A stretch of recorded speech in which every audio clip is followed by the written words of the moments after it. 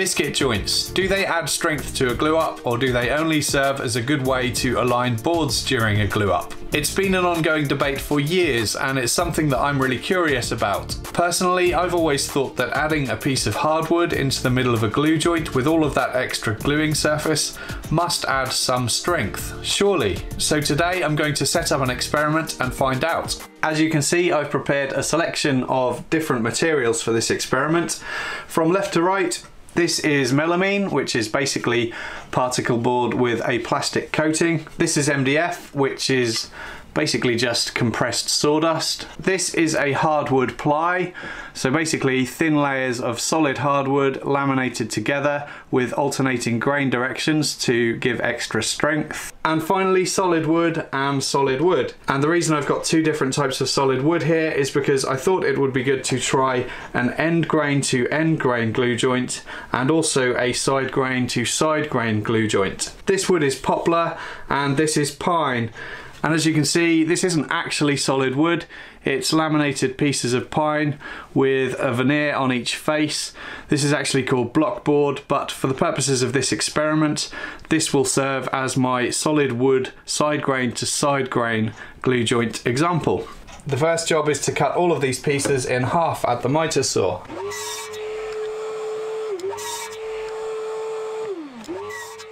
There are three different sizes of biscuits. This one here is a 20, this is a 10, and this is a 0.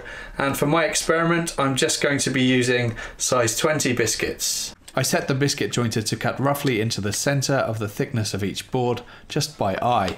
Then I marked up the centre of the width of the boards by eye, and cut my slots by aligning the centre of the fence on the biscuit jointer with those marks.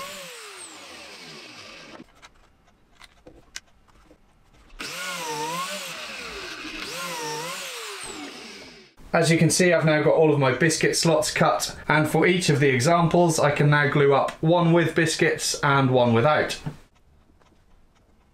Then I glued up each of the biscuited and unbiscuited joints using clamps.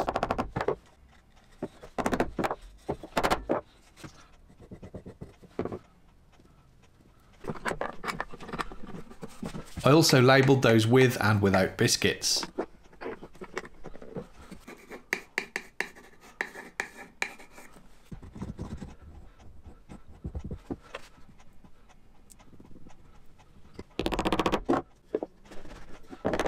For some of the thinner boards, I clamped them down to a flat surface, my workbench, just to keep them flat. I've managed to use practically every clamp that I own, but they're all clamped up now and I'm going to leave them to dry for about five hours. I actually ended up leaving them to dry overnight in the end, and they had about 20 hours in total. And the next day, I marked up some centre points on both sides of the glue joint. These would serve as reference marks to align onto the top of this block, which I could then clamp to my workbench top.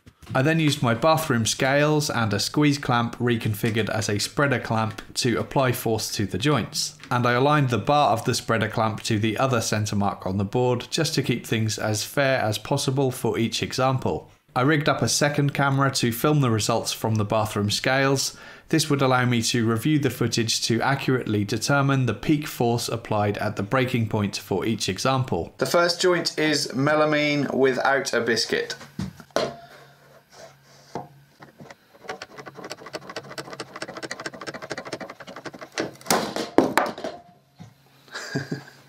So that joint failed partly at the glue joint and partly the board itself breaking. So I would say that's probably about a 30% glue joint fail and a 70% board fail. Next is melamine with a biscuit.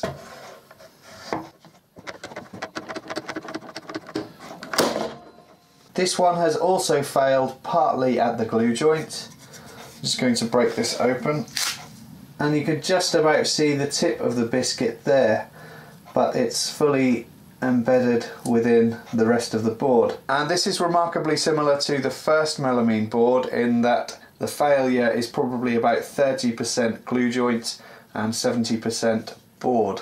Next is MDF without a biscuit.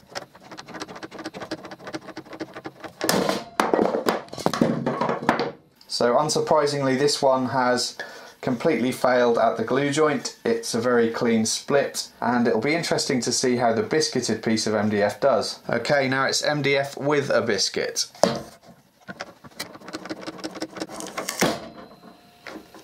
This is another very clean glue joint break and you can see that some of the fibres of the MDF are still stuck to the biscuit itself. This one is plywood without a biscuit.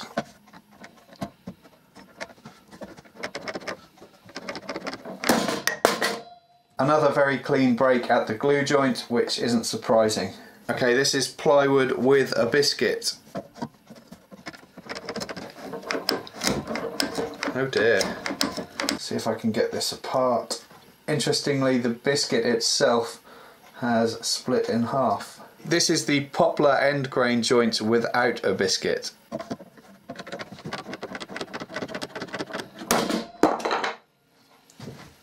And that's another clean glue joint fail. This is the poplar end grain with a biscuit. And once again, the biscuit itself has actually broken in half. Now onto the pine side grain joint. Wow.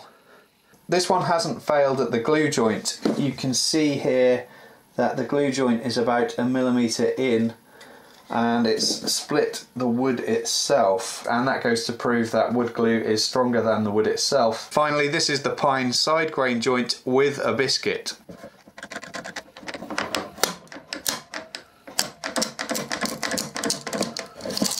Another early failure and this one has failed partly at the glue joint but the wood itself failed before the glue joint did.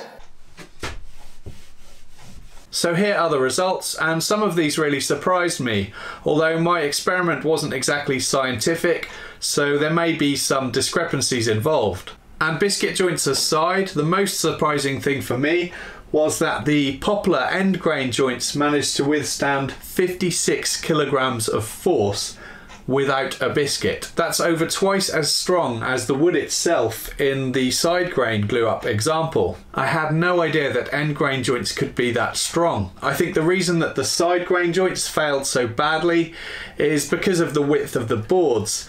If these boards had been wider, there would have been far more strength in the wood to withstand more force. But even then, I would still expect the wood to fail before the glue did, just because modern wood glues are so strong, particularly on side grain joints. Do biscuits add strength? Well, according to my results, not at all. Five of the six joints were stronger without a biscuit than with. Are you as surprised about these results as I am? Let me know in the comments. I hope you enjoyed this experiment, I certainly did. If so, please give the video a like and subscribe to my channel for more videos. Thanks for watching.